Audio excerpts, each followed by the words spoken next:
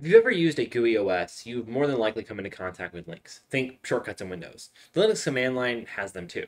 There are two types of links in Linux hard and symbolic links. Symbolic links are sometimes called soft links. This is B from TatOG Tech, and today I'm going to teach you all about hard and symbolic links. Stick with me. I've got a favor to ask. If you like this type of video and want to see more content like it, make sure you are subscribed and hit the bell button for notifications.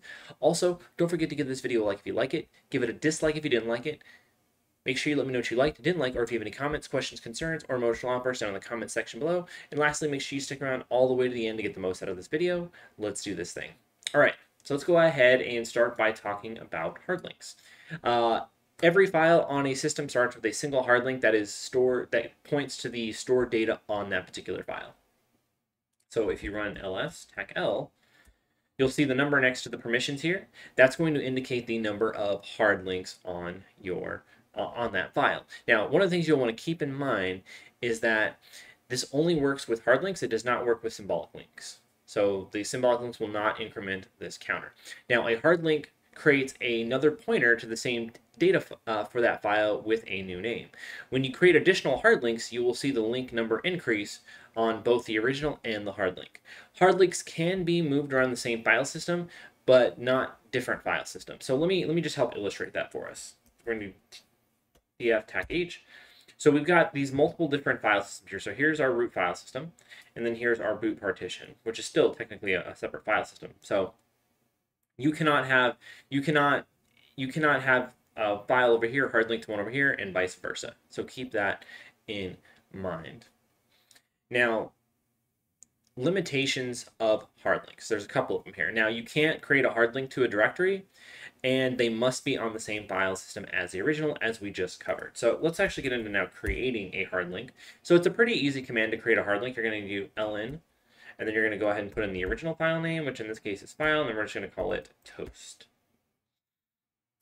Perfect, there we go. Now if we do an ls tac l, we can see that the we can see that the hard the link counters have been incremented on both the original as well as the um, hard link file. So illustrating our point there. Pretty easy, right? Now let's go ahead and talk about symbolic links. So symbolic links are special files that link back to the existing file. Let me let's do an ls tac l on the root file system. And here we've got a few, there's actually three separate um, instances where we actually have symbolic links. And see, there's, if this were a hard link, you'd have at least two here.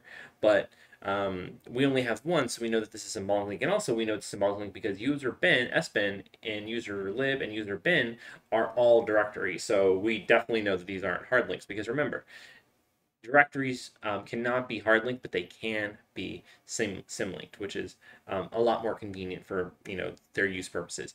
Now these unlike hard links can span multiple file systems so you can have you can have a file on the on one on you know the root partition, um, the root um, the root file system that links back to maybe you have your home directory separate. You can have it link back to your home directory. And I actually um, did a did an example here. So let's go to ls tac l, and we're going to do it on temp.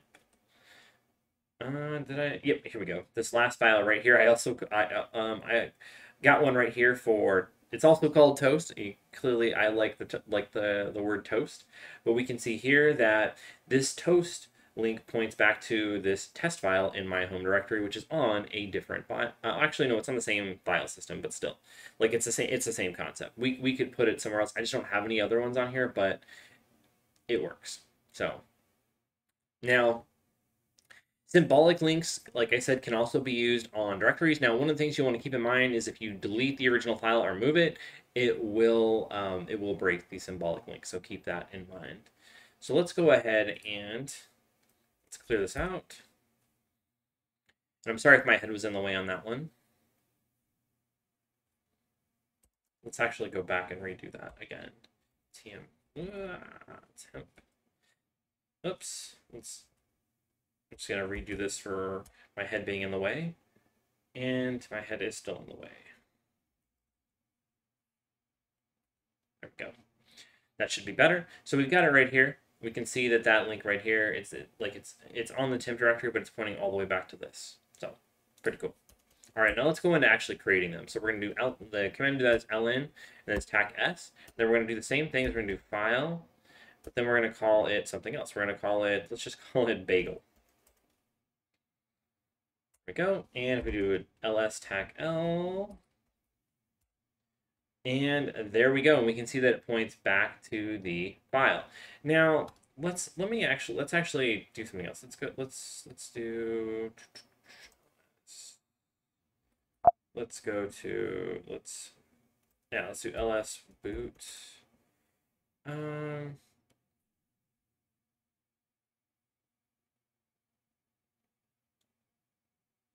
Okay. So what we're going to do here is we're going to clear this out, and we're going to do a we're going to do an ls tac s. I'm sorry, uh, ln tac s, and then we're going to go and we're going to do um, we're going to do boot. We're going to do EFI, and then we're going to call it um, let's call it muffin. Right, and just want to illustrate here that you can do them across um, file systems. And if we do this here, there we go. And if we do a cat muffin, oops, I'm sorry. If we do ls muffin, we can see that we've got the file there. So we can see that it crosses file systems. Remember, if we do a df tac h, which shows us the file systems, we can see that the um, the boot partition is a separate uh, is a separate file system, so we can see that it, it does indeed work across the file system. So pretty awesome, right? I just want to make sure that I illustrated that properly because I didn't feel like I did that uh, strong enough when I made my case earlier. So now you know all about hard and symbolic links. Check out this other video from my channel. Remember, mistakes make you better, so keep on making them. Thank you so much for watching my video and have the greatest of days.